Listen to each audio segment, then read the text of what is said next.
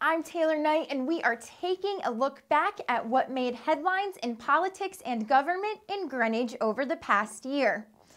There's a new face representing the 150th district in Greenwich. Mike Bocchino was elected in November after incumbent Stephen Walko decided not to seek re-election. Best part about this whole experience is, is absolutely the amount of wonderful people that we met in the Republican Town Committee. Um, these people have worked so hard, so diligently. Fred Camillo and Livvy Floren ran unopposed in the 151st and 149th districts respectively. The town administrator, John Crary, has announced that he will be retiring in spring 2015.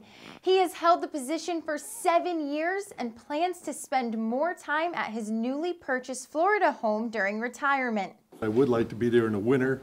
Uh, this, right, this, this winter, I'm going to be spending it doing the budget, which is not quite what I had in mind, but uh, I'd like to make it as smooth a transition as possible.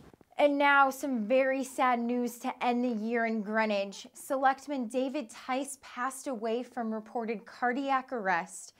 Theis was a longtime Greenwich resident and constant presence in the community.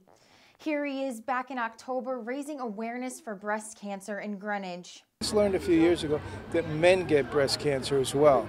So it doesn't, uh, as Peter said, discriminate in any way. So it's important to increase awareness and support in every way we can, and it maybe find a way to eliminate this dreadful disease in our lifetime. Theis will be honored at a memorial service on January 10th and First Selectman Peter Tesei issued an order that flags at all town buildings are to fly at half staff until the selectman is laid to rest.